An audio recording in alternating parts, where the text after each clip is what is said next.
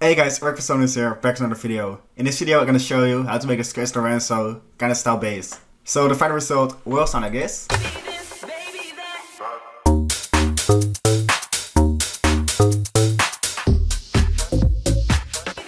So now let's dive into bass, sounding like this. And we have the drum loop, sounding like this.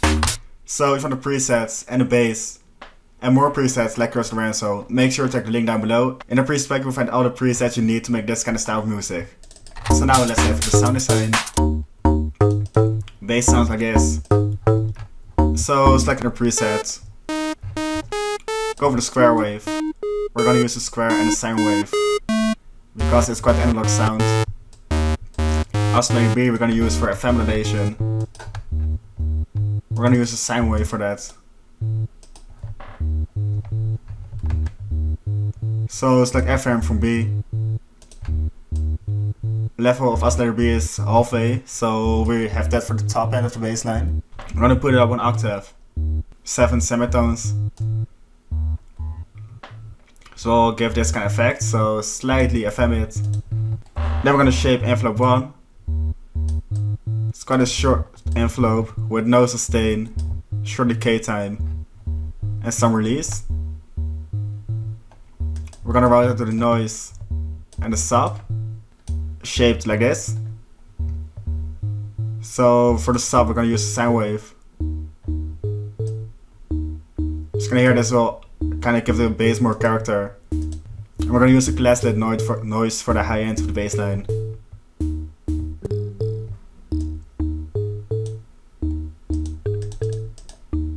Just gonna hear this will give it a bit more punch. Now we're gonna shape the filter with the low 18. We're gonna route the noise and the sub to it as well. And route envelope 1 to cut cutoff.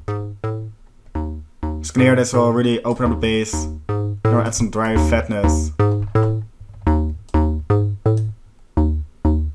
I think around here sounds fine. Now we're gonna add some more legato. And that's it for the oscillators, so now let's have effects. First we're gonna give this the downsample distortion. Some more presence and highs.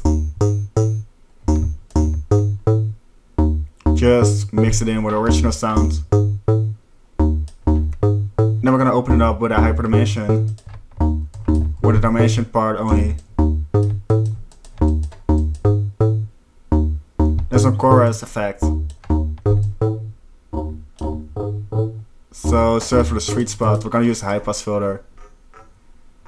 This will get some more harmonics in the highs. Around here sounds cool. Then we're gonna compress it. No OTT this time, just some compression. To make it pop a bit more. With a slow attack. Just something like this. Then some phaser. With a frequency around here. And the mix quite low. So only mm-hmm. breaks out the bass a little bit more. That's me EQing.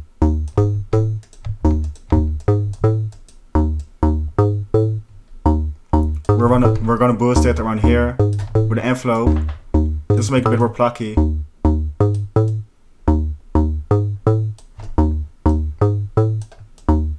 we're gonna give some more reverb to the high end of the bass line. So I'll put a low cut quite a bit. And a mix quite low. We're gonna do the same with the delay. And then the last thing we're gonna do is add envelope free to the master tuning to add some more punch to the sound.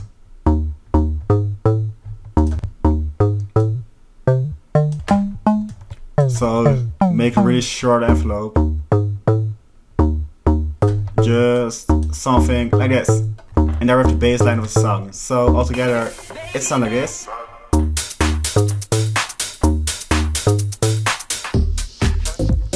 And that's it for the video. So if you like the video, please leave a like. You see more, hit the subscribe button. And I'll see you all in the next videos.